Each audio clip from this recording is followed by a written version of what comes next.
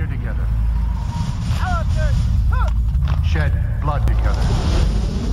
And it is that knowledge that will bind us together forever. That and a love for this country that no bayonet can pierce, no bullet shatter. Roll, please. And camera marks. And action. There's been a murder on the military base, and it's not just an average uh, homicide. It involves the general's daughter. Captain Campbell's death, occurring as it did on post, will cause a sensation. Military life is a whole civilization unto itself, with its own laws, and maintaining appearances is everything. This is a tragedy for the general. We don't want it to become one for the army. Yes, sir. As we unpeel the story, we start to find that there's this secret world where nobody's what they seem to be. Come up with anything yet? Preliminary list of suspects. Who? Everyone. You work together on a daily basis? Absolutely. Did you, uh, play together? What a truly excellent question. I love the notion of a murder mystery that took place in this environment, and it was not just a who done it, but sort of why they done it.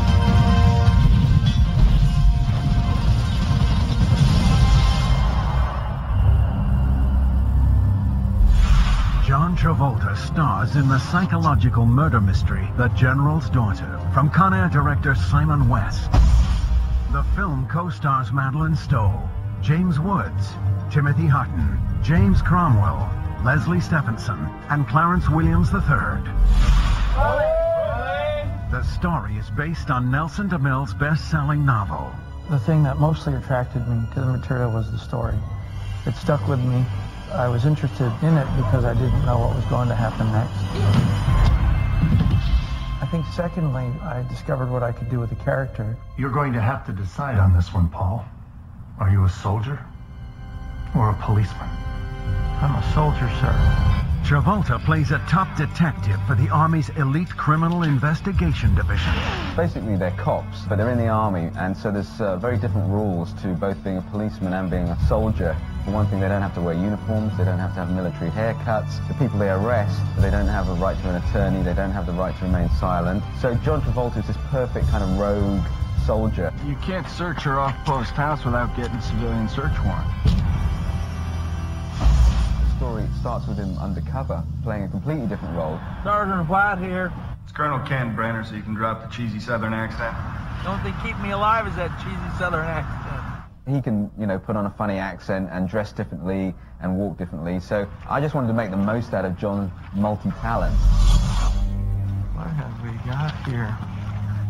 Tortured, raped, and murdered. It was the thriller aspect of this story that appealed to producer Mace Neufeld, whose other credits include Patriot Games and Clear and Present Danger. There's been an apparent rape and murder on a military base in the South. The victim was a female Army captain who is the daughter of the commanding general on the base. She's a West Point graduate, kind of an Army poster girl. The general is about to retire and run for vice president. And John Travolta is called in and told to wrap up the case as quickly as possible. After 36 hours, the FBI will send in a task force to investigate. The intention is to finish up the investigation before this event has got to be relegated to outside authorities, namely the FBI, which will then open it up to the press, the media, which is something that he does not want to have happen. Just find the son of a bitch. We'll find the son of a bitch, sir. Parker? The film was shot at various locations in and around Savannah, Georgia, from historic plantations to remote swamplands. I decided to set the story very firmly in the in the deep south because I wanted old architecture, I wanted that oppressive heat, I wanted the, the dark, shadowy past of the south. So I, I kind of refer to it as sort of southern gothic look. The look of Savannah and all those old houses and plantations that doubled as as part of military apparatus was just magnificent for what we're trying to do. Believe me, this has the feel, the sweat, the heat, the, you know, the mosquitoes, that simmering of intensity that comes in a southern military base. It's a fascinating town because as beautiful and as, as exquisite as the buildings are, there is a definite sense of something very decayed and decrepit and seedy happening. The film was shot during one of Savannah's hottest summers on record, which posed a number of practical challenges. The humidity is like 100% and uh, the temperature's always in the 90s and every afternoon a thunderstorm comes in and we have to run for cover so we don't get electrocuted and we even got hit by a tornado the other day. So uh, it's pretty interesting weather here. The producers mobilized a full spectrum of aircraft, ground vehicles and weapons to create a convincing backdrop. For certain cast members, the military aspects of the story rang true to their own experiences. Well, I not only grew up in the military, but I was actually nominated to the United States Air Force Academy. Blank ammunition! So I, have been very familiar with uh, the military environment, and I must say it's been captured amazingly well in this film. One set built specifically for the film was an elaborate combat training site. This is uh, what we call a MOUT site, which is a military operations urban terrain area where the army would train to fight in amongst buildings and cities, which is much more what warfare is like these days. The filmmakers incorporated state-of-the-art military devices into the training site. One of the things I try to do is take technologies from the military and place them in the film. Something that we might not have seen in a film before. One such device is a remotely controlled robot used for surveillance, tactical maneuvers, and bomb disposal. This is the device that discovers the body of the general's daughter. Oh my god. When Travolta is brought onto the case, he is assigned a partner. Why is she here? A woman with whom he has a past. I also need records. Captain Campbell's personal and medical records, ASAP. I already did that. Thank you. You're welcome. Suddenly a new partner is thrown upon him in the middle of this investigation. And he has two issues now. He's got to solve this murder, and he's got to deal with his old feelings about this girlfriend. I think I can help you on this one, but I don't want it to be awkward. Awkward? Now, why would you think it would be awkward? You're pouting. This is not pouting. They are slightly at odds with each other. It's a very male-female thing that's happening, and it's sort of a source of humor in the movie. There's a really fun scene where they go at it in a bar in front of all these people. They have this huge argument. Maybe I wanted you not to accept my decision to break it off. Maybe I wanted you to take me away. Oh, we're talking about telepathy here, not communicate. You know, let's just uh, talk about this next week, okay? Fine. I just one more thing. Is this next week already? Cut it? For Stowe, Travolta brought several aspects of his own personality to the role. He's very much the kind of man that women love being around. You know, there's a sense of strength and passion and a kind of bedevilment about him. I didn't realize you knew her. I didn't know her. I've met her a couple of times. Uh-huh. What was she like? Are you asking this because you think I slept with her? Madeline Stowe is so beautiful and she's such a good actress. We just at once felt comfortable and caring toward each other. We had an innate or natural chemistry that I felt was unusual. Why was she murdered? Well, possible motives for murder are profit, revenge, jealousy, to conceal a crime, to avoid humiliation and disgrace, or plain old homicidal mania. In researching the original novel, author Nelson DeMille was fascinated by the difference between civilian and military investigations. The counterpoint between how the military acts and how the civilian world acts makes for fascinating drama. It looks the same, it looks like American justice, but really deep down it is Army justice, and Army justice is always concerned with good order and discipline. There are three ways of doing things. The right way, the wrong way, and the Army way. From day one, you take an oath. You take an oath of allegiance to the country, but also to the military, and I think the idea of duty, honor, country is still very pervasive in the military. In this investigation, Travolta and Stowe uncover a number of suspects. Who? Everyone?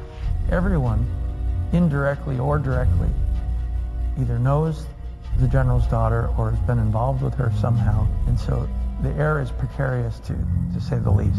In a key scene, Travolta heads for the nerve center of activity at the base, the Officers Club. I wanted a scene at the beginning of the movie to show the difference between John Travolta's character and the rest of the people that he was investigating. And I wanted to put him in this environment where the whole room was full of hundreds of of officers that were all of a higher rank than him, and he likes to swagger into that room and show everybody that although I'm, you know, of a much lower rank than the rest of you, I could arrest any one of you. When I walk into this room with my partner, you can just feel the weight of the suspicion, of the almost finding out of things. And he knows intrinsically that he's got this effect on the whole room. So he's also kind of getting off on the idea that he's making these people this uncomfortable at this moment, but also hoping to find a clue by making them feel possibly uncomfortable. They seem to be not exactly welcome by the military because you're investigating your own kind, and in a sense, you almost have to theoretically break ranks to do this. Captain Bransford? Whoa. Yeah, that would be me. What can I do for you, honey? Better yet, what can you do for me? Well, dear, you can ask these other men to excuse us. Yes, that's a CID badge you're looking at. In addition to conflicts between the investigators and their suspects, this story also explores conflicts between the sexes in the military. When I was in the military, almost all female officers were nurses, and there were very few in the command position. And when I went to research this book, I found, you know, more and more women who are in command positions, and that's what this book, and to a large extent the movie, raises the question of, which is women in the military and how effective are they and how well are they being integrated.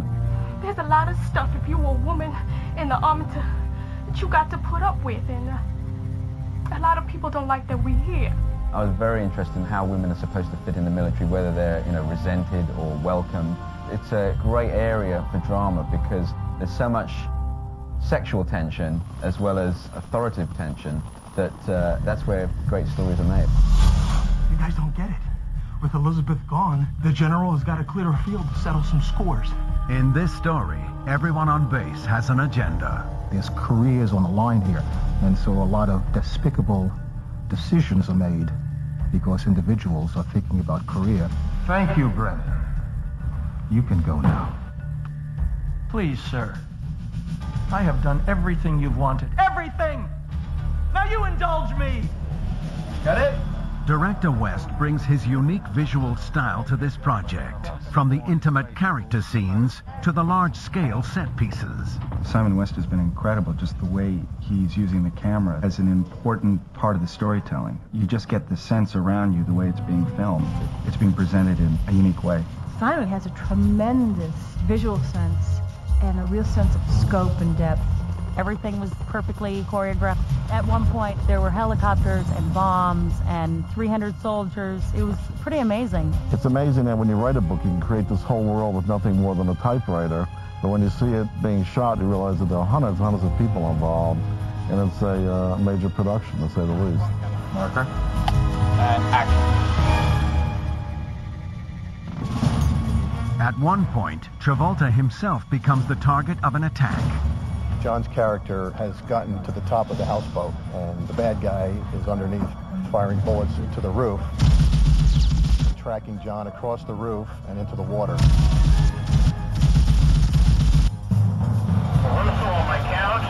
Basically what we're doing here tonight is we're setting up Travolta's character coming off the top of the houseboat with some squibs following him behind.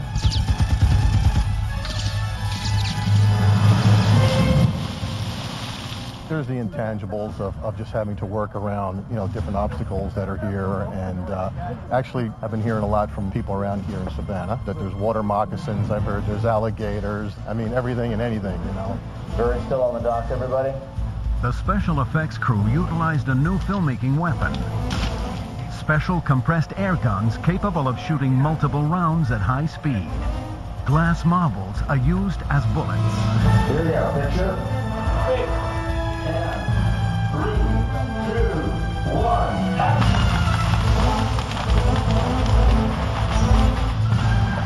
Once the actors were in the water, custom camera rigs were used to capture the action. I had a blast. It was fun swimming every day and, and shooting guns and having uh, all sorts of stunts and fights. I pop up the ground, he's there with a gun. Like a big old kid, you know, the, the crew got to play, I got to play, the actors got to play.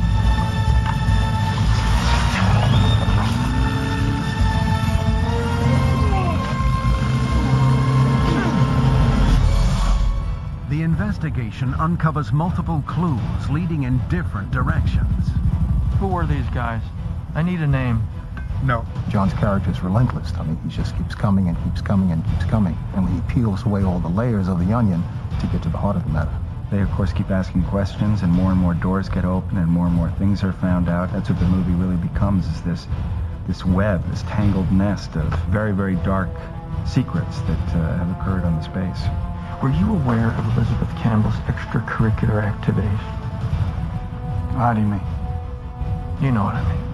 Elizabeth Campbell is a woman who's complicated beyond beyond imagination. What have we got here? She has a very, very wild side, which is very shocking considering that on the outside, everything's perfect, everything's very neat, and then when you go in her basement and find this dungeon, it's very interesting. This is it. Good lord.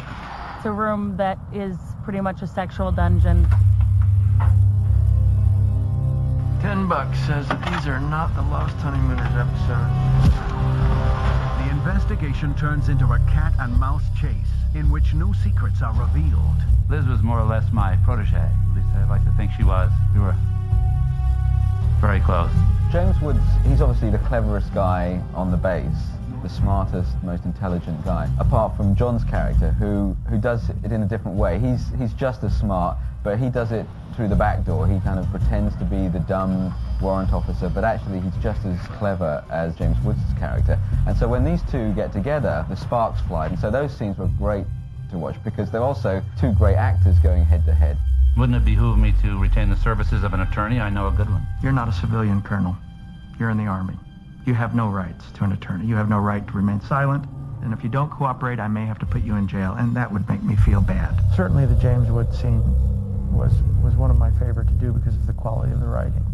It's a terrific opportunity for two actors, and John is a just fabulous actor to work with in terms of playing all those levels that take place in the interrogations. And my evasiveness, of course, is something that's a wonderful thing for me to play. You see what you're doing here? Looking for answers? You're trying to make me like you. And you know what? It's working, I do. But now do you see what I'm trying to do? I'm trying to make you like me too. There are as many alibis as suspects. How about you? Home in bed when the tower called? Can your wife verify that? I love this kind of movie. I mean, it's just a great murder mystery, and just when you think one thing might have happened or one person might have been responsible for the killing, suddenly that path leads to another path, and it's somebody else. And this script is so beautifully written, and the way Simon West is directing it, it's going to be great. You can watch it on many levels and just sit back and have fun and, and enjoy everybody, um, you know, trying to get one up on each other. But also, if you start to get into it and think about it, it's actually a very detailed and classic drama. Why were you so stupid as to leave your fingerprints everywhere? No matter what you think you know about the character, it'll be the opposite. There is a series of suspects, and we're going to find out, you know, what happened. And it's not just about rape and murder, believe it or not. And I actually have a wonderful sequence with John where he says, well, what is it about? Is it about drugs? No. Is it about cheating at the point? No. Is it about rape? Worse. What's worse than rape? When you find that out, then you'll know everything, won't you? With the clock ticking, Travolta must piece together the clues that will provide the ultimate solution to the case. I think what you're going to find is a very entertaining, thrilling, and mysterious picture. I think that it makes a lot of left turns that are unexpected. I think it is original, which is hard to do in this kind of genre. He's got his hands full, and he's got a time limit, 36 hours, to figure out this case. You better start thinking about your career. You better start thinking about yours.